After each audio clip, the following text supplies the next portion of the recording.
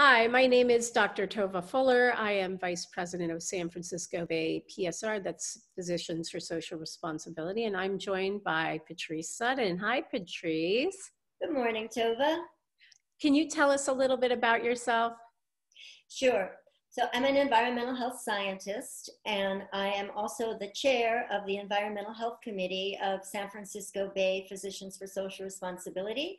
And I have for since the 1980s been um, very passionate in working to help abolish nuclear weapons, among other things. Yeah, okay. Um, I'll get back to that. Um, so, do you have any favorite facts about nuclear weapons? Do you like actually know anything about them? Well, I know uh, quite a bit about nuclear weapons, just in the sense that when I was um, in graduate school in, in the in 1980s at UC Berkeley studying environmental health, perhaps the most, um, one of the most important facts, I guess I first appreciated the threat of nuclear weapons had to do with the horrific and very long-lived environmental health consequences of even if they're not used, the fact that the environmental devastation that has been uh, wrought by nuclear weapons from the time you take uranium out of the ground from indigenous lands all the way through the production, and then you have to deal with the waste. And all of these have had horrific public health consequences. And perhaps that's the fact or the part of nuclear weapons that I've been more um, engaged in above all. And you have extensive history in environmental health uh, activism as well. So I just want to acknowledge that. Um, is there any aspect of the intersection between environmental health and nuclear weapons that has relevance to San Francisco or the Bay Area? Well, yes, very much so. Um, you probably uh, know that the Bayview Hunters Point neighborhood in um, San Francisco in the southeastern port part of the city um, is a large African uh, American uh, community, although now it's becoming increasingly gentrified, which is also part of the story. That community, um, so in the, in the uh, 1950s, the United States tested nuclear weapons in the Pacific, causing horrific damage to the lives over since then of the people who lived on the islands that were in fact destroyed and decimated and left huge amounts of contamination in the Pacific where these weapons were exploded to test them. But then the ships were brought back to San Francisco and they were quote unquote decontaminated by sandblasting the ships when they arrived at the Bayview Hunters Point shipyard in San Francisco. And when you can imagine, if you have a ship that's covered with high levels of radioactive materials and you sandblast it, you then say, let's get rid of it by putting it up in tiny particles in the air that will then fall down on the community and be there pretty much long before, long after all of us are gone. And so this contamination has um, ha has also been amplified by the fact that the neighborhood itself, because of racism in our country, has experienced huge levels of environmental injustice and environmental contamination. There's two freeways, there's a lot, there was a PG&E facility. So you basically have an, an environmental, um, uh, a, a situation of a huge amount of toxic and radioactive material been imposed on this community without their will as a legacy in large part of uh, the United States nuclear weapons program. Do you think um, the majority of people that live in San Francisco know about this issue? I don't think so at all. Um, I think that there's, because as I mentioned, the community is being gentrified, to some extent, there's been development. Of course, housing is something our city badly needs. So as the city has expanded to this, um, with new housing, there's people who've now moved in and those newcomers are becoming more aware of the history of the community. For the people who've lived there, they are, this has been their lives. This is this is multiple generations. So, no, the African American community has been extremely aware and extremely alone most of the time in fighting this great environmental injustice right here in our own backyard.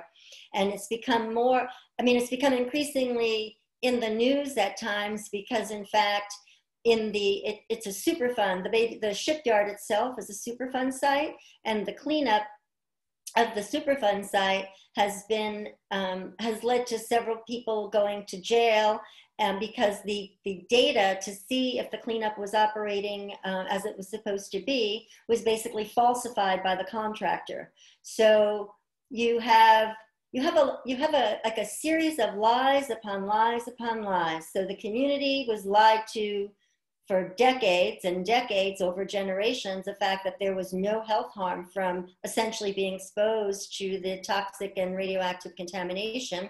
And then when it started to get cleaned up, the, the contractors who were employed by the Navy to do the cleanup lied about what that the cleanup that the, the materials were clean when they were not.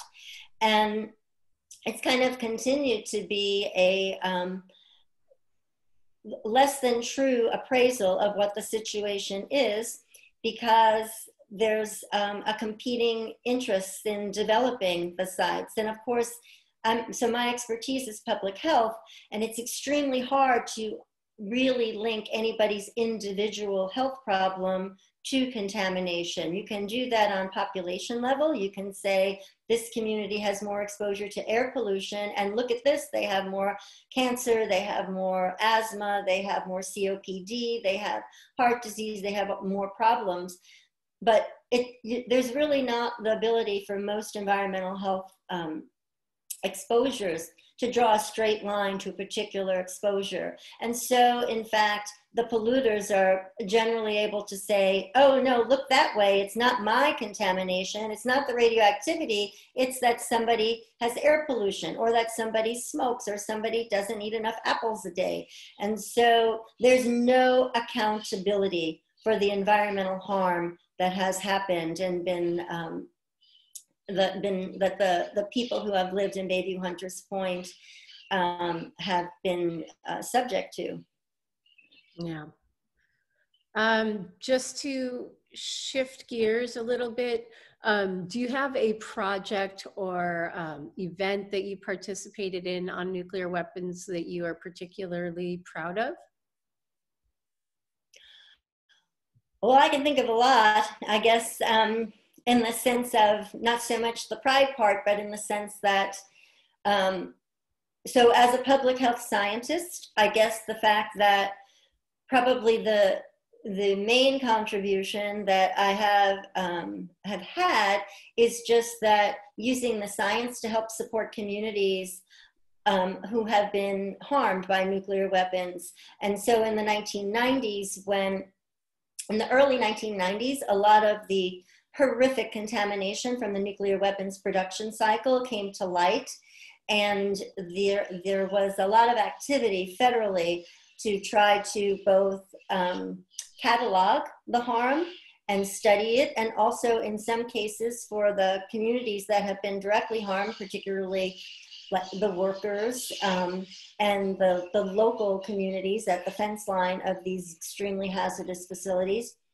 Um, so there was like a federal advisory committee that I was a community member that supported that advisory committee. And we also did a lot of work with the communities so that their voices could be heard. And so, you know, there's public health and there's science, and then there's also there's deep knowledge in exposed communities that's a source of, in, of knowledge that is often left out of science in general. So a lot of the effort uh, was to bring the knowledge base of the directly exposed populations into the scientific decision making as a legitimate source of knowledge. So that's a part of it.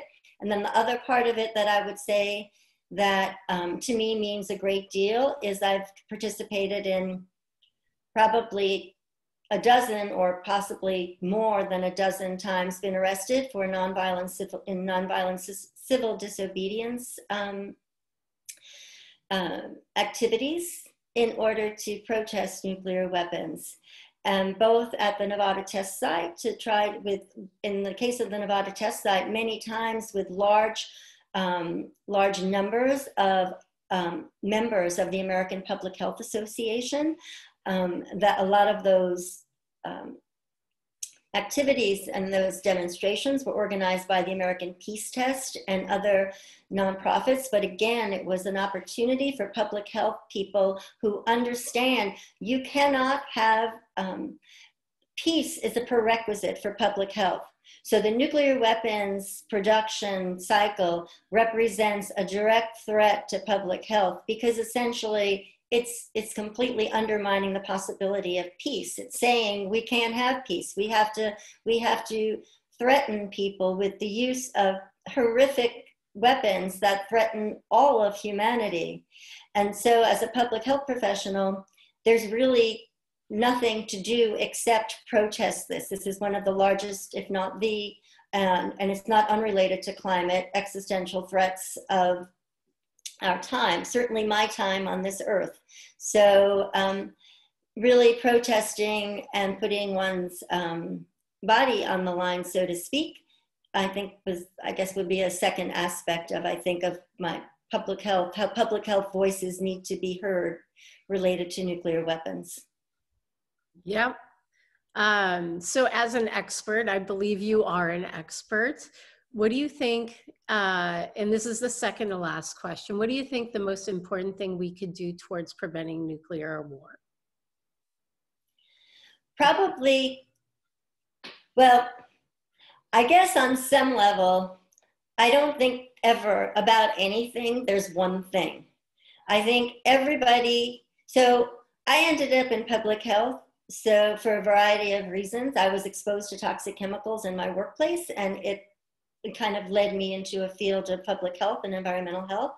But everybody's path is different, and life kind of shows itself to what your contribution would be. You're a physician, so you have a medical voice to speak with. So I don't know that there's one thing. I think what there is the commonality is to recognize that nuclear weapons represent the domination of one group of people over another. And so I see it that when you're fighting for um, reducing the police violence, when you're, you know, you're fighting for justice um, in, in other avenues, they're not unrelated because nuclear weapons are really, to me, the ultimate in using power to dominate other people. So where one's life, where in one's life it shows itself that you disagree with that as a way to run a world.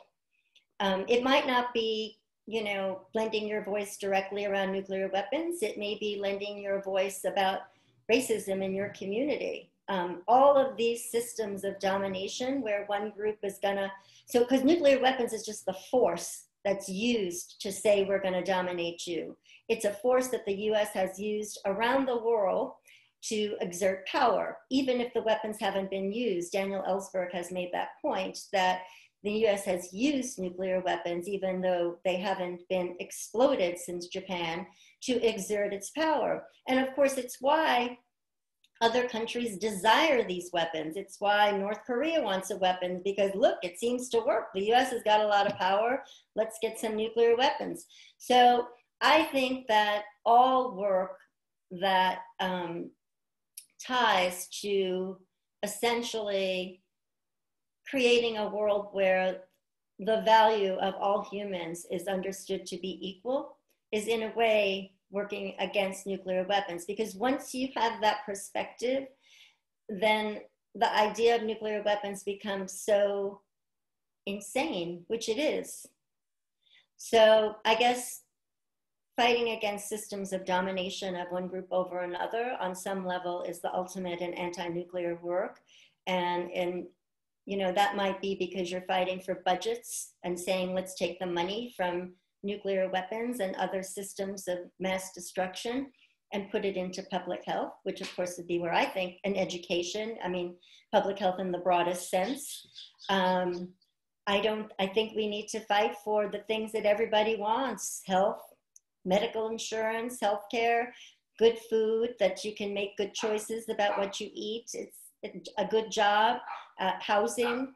And in our country, we have favored building weapons over providing and ensuring a system where everybody essentially has the human rights to basic survival, um, things that everybody needs to survive. So it's not one thing, um, but it's it's where where life shows you your place to, to raise your voices. That's the thing you can't step back from.